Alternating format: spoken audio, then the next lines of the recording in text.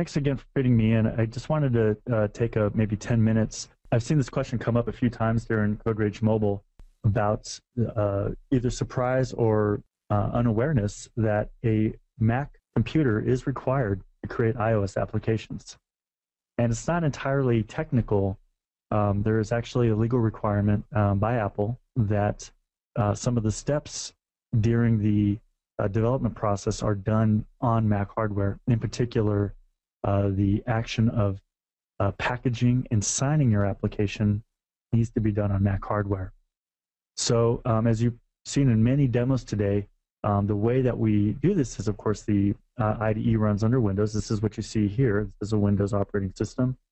And I'm running this inside of a Mac Pro, MacBook Pro. I'm connected on the same Mac hardware when I do my iOS development, but there are other options. If you don't own Mac hardware, well, first of all, there's options within Apple hardware. Mac Minis are a pretty inexpensive way to get uh, Mac hardware. You put it on your network, you set it up according to the prerequisites, and you're ready to go. But there's another option that I'd like to share with people in case they weren't aware of it, and this is called MacinCloud. Mac and Cloud is a hosting service, a Mac hosting service. So they basically have Mac hardware in North America, in Europe, and Asia.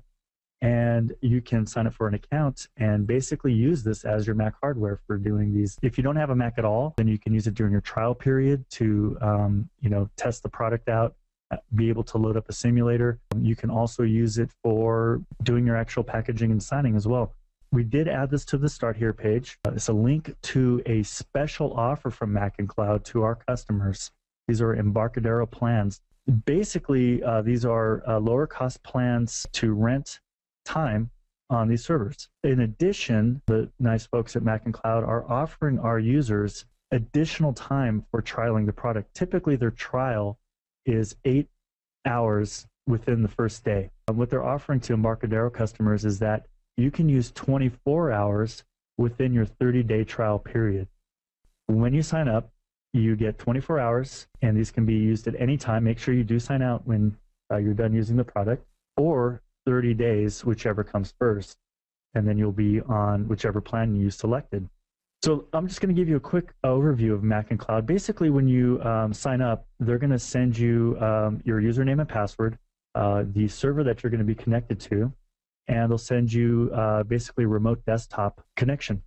So that's what you see on my desktop here. This is the remote desktop connection for a pop-up window. I'm going to go ahead and, and, pop that open, and it basically takes me to a login screen. So I'm going to use my login information that they sent me, and I'm going to log in. So during the initialization process, they're starting to meter your time on the application. They know that you're the user. But what's really nice about this uh, setup is that they already have all the development tools installed.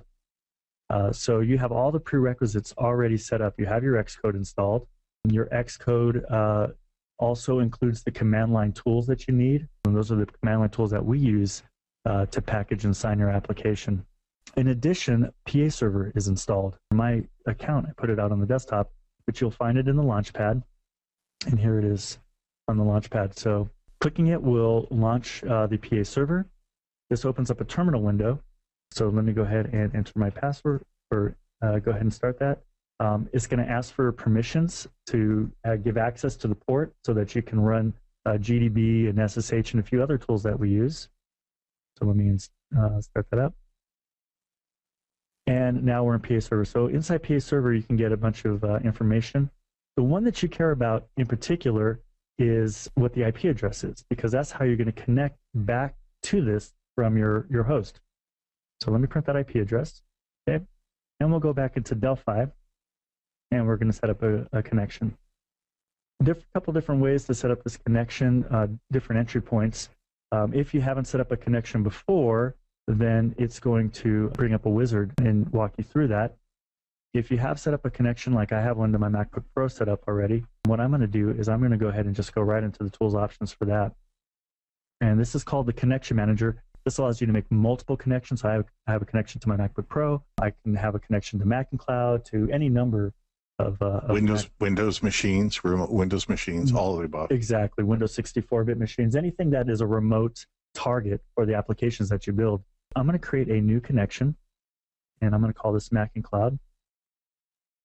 And we'll use platform OS 10 because that's the one that I'm going to be connecting to out there. And I need to provide that IP address that uh, was given to me uh, back from the PA server 74.80.237.109. Okay. Let's test that connection. And so we do have a connection out to that remote machine now, and we'll finish. So I'm going to make this my default profile or connection.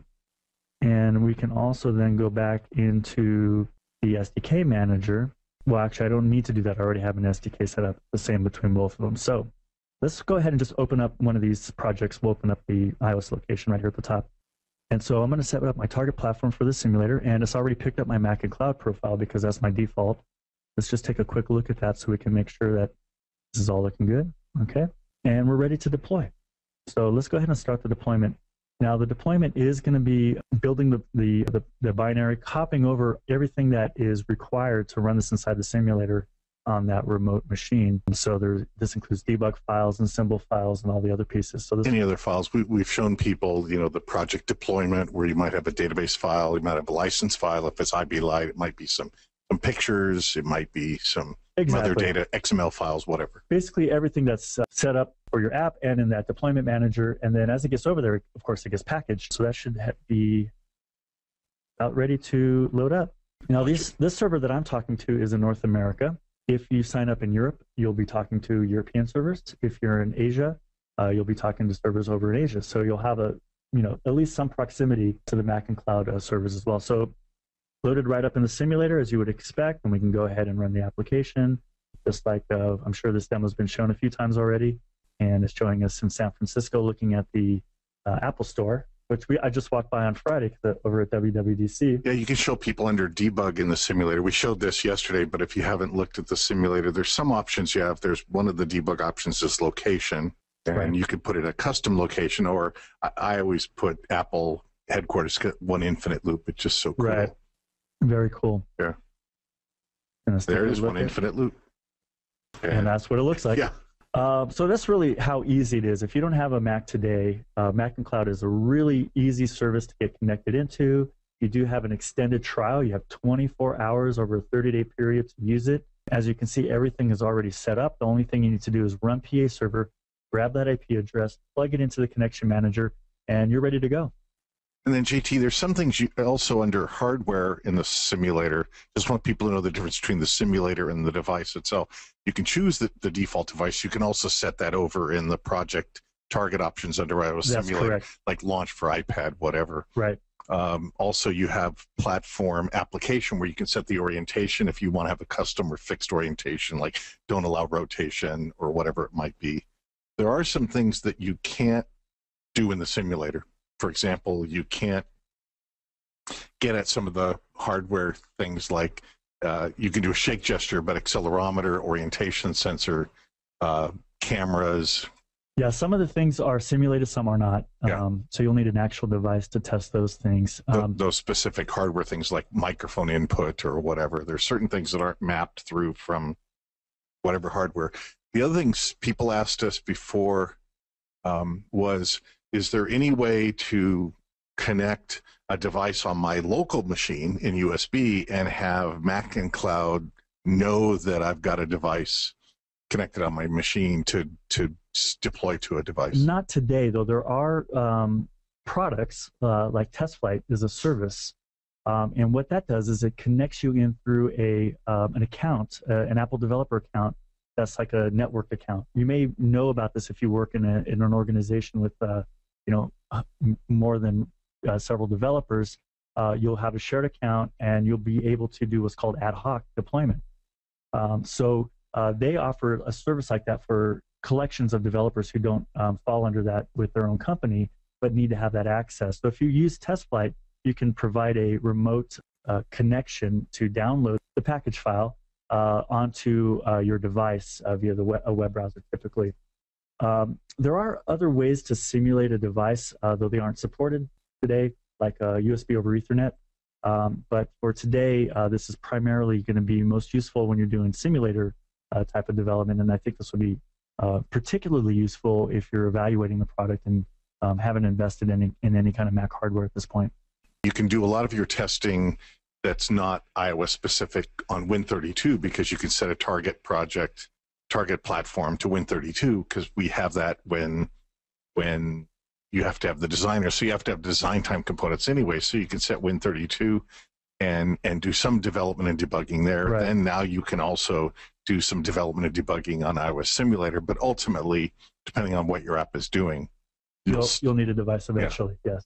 Right. Mhm. So, but at least you have X. You don't have you have Xcode. You've got the code signing. All the things you need. Command line tools are all set up in a MacinCloud instance when you're there. That's right. Should be really easy to, to get it up and running. Okay. And, and I basically just went through that process uh, live with you guys in five minutes. Uh, so, you know, if you don't have a Mac today, uh, again, I would recommend uh, checking out MacinCloud so that you can um evaluate the product or start your development on iOS um, now. And Olaf is mentioning Olaf is part of the developer experts, Delphi experts. Uh, Danny, uh, Magin, and and Daniel Wolf did a session this morning on the Apple Instruments Oh, uh, yes. performance uh, performance analysis of iOS apps. Olaf is part of that team. He's uh, down in Florida, and he just said we have TestFlight integration ready for XE4. He's going to put up a blog soon. Wonderful. So that That's is really cool. That is fabulous. Um, So it sounds like uh, we have a, a, a solution for those of you without hardware today to even get to the device. That's good to know. and then eventually, you'll still want a device at some point in time connected. Yeah, yeah. I mean, um, if you're if you're going to be deploying to the App Store to a customer, um, you eventually need to invest in a device and a, a Mac. Uh, ultimately, uh, if you you know if you're doing this uh, professionally or um, making money off of it, then it's a, it's a worthwhile investment. I'm investment. a used Mac Mini that's recent that has Intel processors and runs more recent OS 10 versions. 300 bucks Yep, It's for- very for a affordable. used Mac Mini uh, or a used Mac that's Intel again that runs what Mountain Lion above, I think you need Lion. at least Lion or at least above. Lion yeah. and above. So if it'll run Lion and above, let's see. Bruce is asking, did I hear right that MacinCloud has PA Server pre-installed on the instances? That's correct. Is that just for the Delphi users, or have they done that for all their customers? They've done that for every basically as part of their image now. Got So it. It's every new account has Xcode PA server. and PA, ser- Xcode and PA Server. Correct. and their job is to keep Xcode up to date and for us to give them a server if we make any change. Precisely. Got it. Okay. In fact, this is the Update 1 PA server, uh, which is backwards compatible with the 4.0 release uh, uh, cl- uh, clients as well. Um, so this will work with, if you haven't updated yet, this will work with your current product and with the update. Excellent, JT. That's what I wanted to show.